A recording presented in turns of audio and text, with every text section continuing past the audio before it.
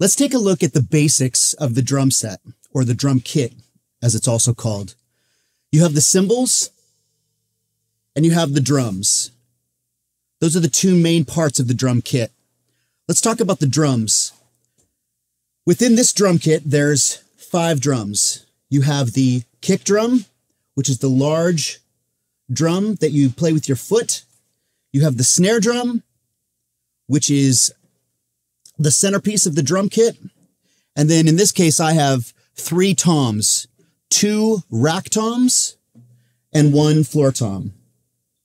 Let's talk about the kick drum.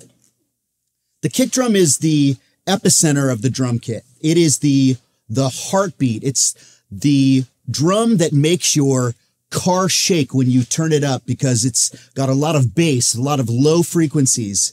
The kick drum sounds like this.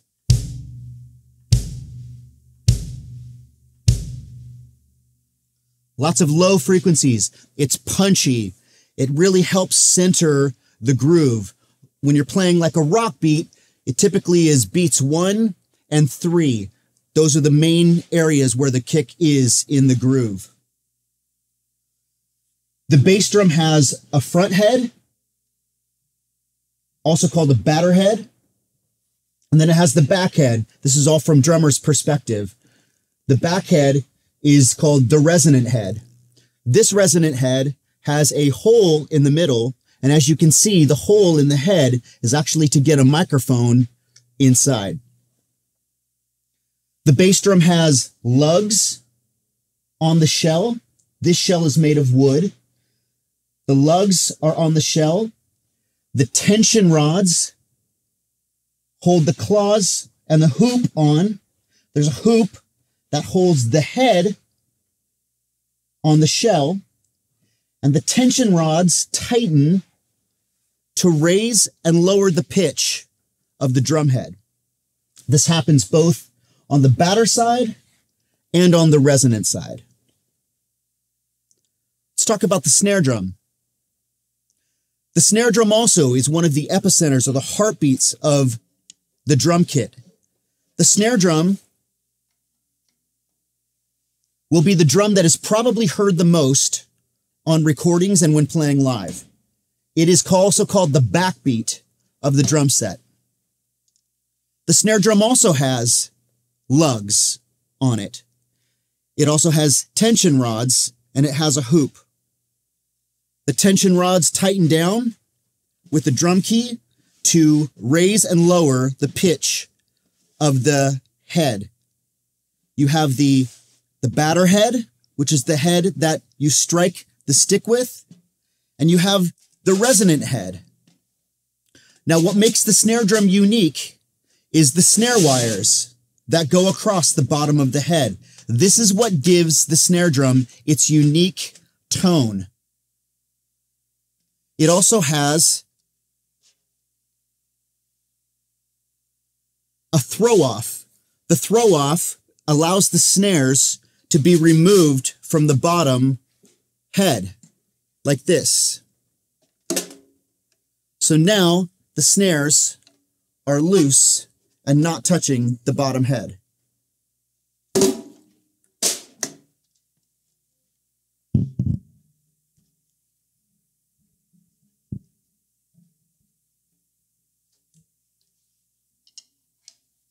The kick and the snare together sound like this.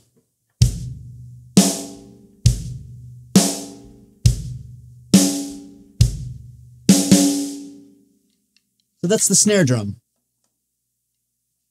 You also have toms. Toms are drums that are used for accenting and doing fills.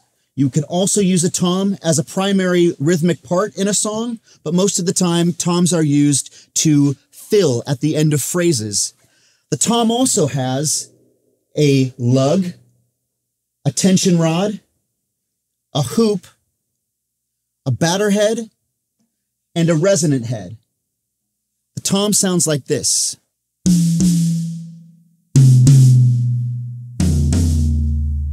And there are many different sizes of toms. These toms happen to be 8 inches around, 10 inches around, and 14 inches around. This is the basic drum part of a drum kit. Now you also have cymbals, and this is the second part of the drum kit. With this drum set, I have essentially four cymbals that I'm using. The first and the primary is the hi-hat. The hi-hat is comprised of two cymbals that are being used together with a pedal. And the pedal can raise and lower the top cymbal. It creates the opportunity for the tone of the hi-hat to change as the pedal moves.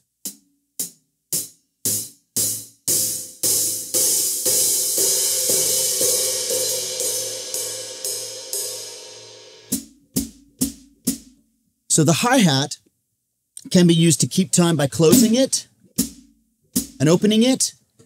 You can play the hi-hat to be subdivisions in a groove. A lot of times the hi-hat is what glues or keeps together the kick and the snare drum part. For example, this is a hi-hat pattern that would go with the snare and kick groove. This would be the hi-hat part.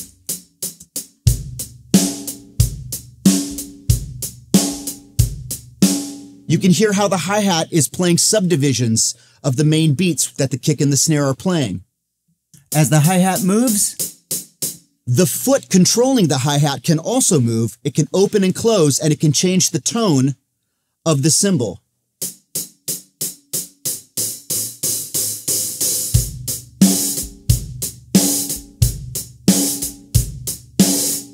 So the hi-hat is a lot of times the glue for the kick and the snare drum.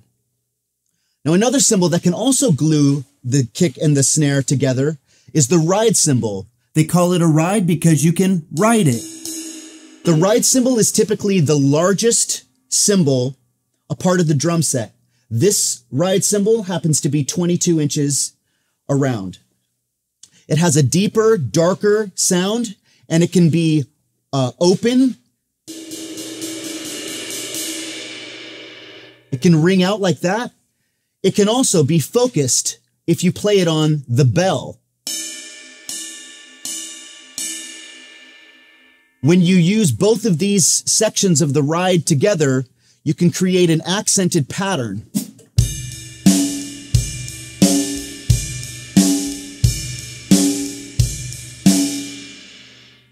So the ride cymbal offers an opportunity for you to change up the tone from the hi-hat to something different. A lot of times you would use the ride cymbal in a chorus of a song or uh, a bridge.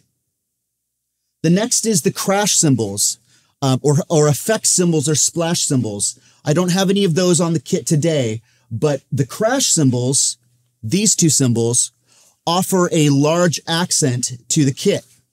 The crash cymbals can vary in sizes from 14 inches now they're making them as big as 26 inches, huge cymbals if, if you wanted to go for that big, loud, open sound. This cymbal is 21 inches and this cymbal is 18 inches. This is what the crash cymbals sound like.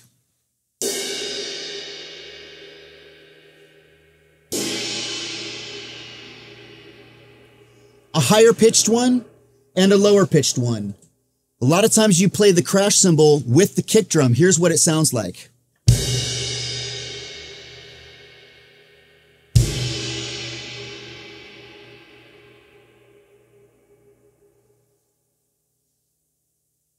These are the basic components that make up a drum set.